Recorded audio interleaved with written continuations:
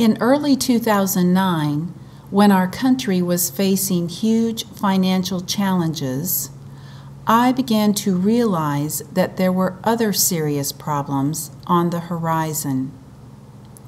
The parts for the first sound healing device that I had introduced in the US, the Cyma 1000, were becoming obsolete.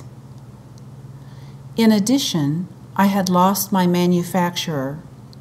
I wasn't prepared for technology to change so quickly nor had I anticipated that some of the rest of the business aspects were going to fluctuate. With the potential that sound therapy had to help people, I couldn't believe that someone wouldn't want to manufacture my device. My path ahead was unclear, and my nights were filled with fitful sleep.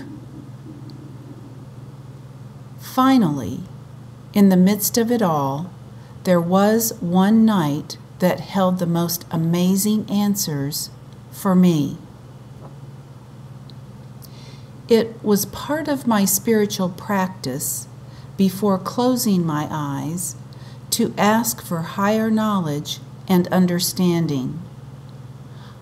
I would often feel that there was a guardian, perhaps more than one listening to me. As I drifted off to sleep, I heard the Cyma frequencies, lots of them. I followed the sound, gliding and floating in the darkness. Then, appearing directly in front of me, there were five interspersed cymatic images. They sparkled and reflected their own light.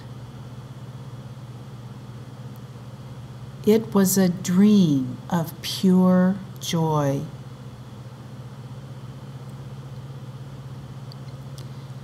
Like looking at crystals through a microscope,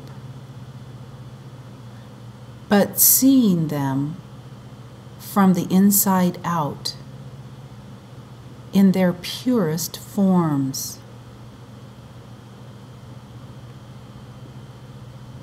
The lacy patterns played over and over again in front of my eyes and traveled through my being.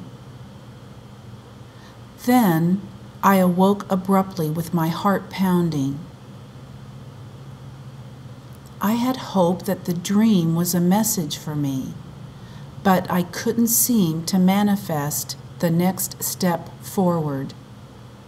While I was trying to believe there was a rebirth in the future for my product, I returned to the wisdom of the Chinese medicine tenets I had learned to love and trust for my own health.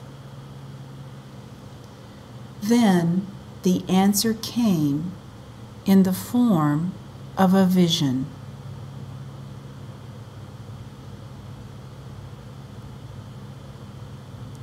I saw the five elements of Chinese medicine wood, fire, earth, metal, and water, each in globes filled with layers of knowledge and information. Each one created a pentagonal pathway revealing a five pointed star shape. This vision made sense to me on multiple levels.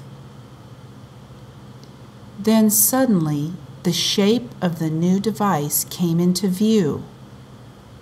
It would be a plate of sorts that could generate healing frequencies. The letters AMI appeared what they stood for was spoken aloud to me acoustic meridian intelligence. The sounds would be the 750 commutations that Dr. Manners had given me to work with. The AMI 750 was born.